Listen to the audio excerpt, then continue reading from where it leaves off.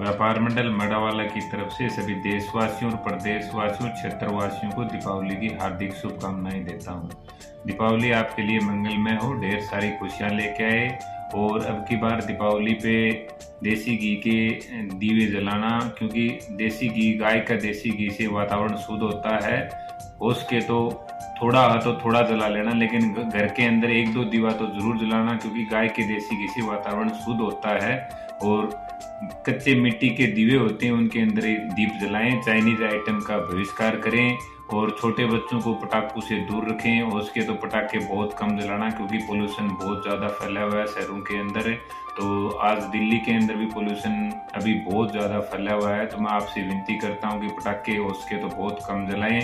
और मैं फिर से दीपावली की हार्दिक शुभकामनाएँ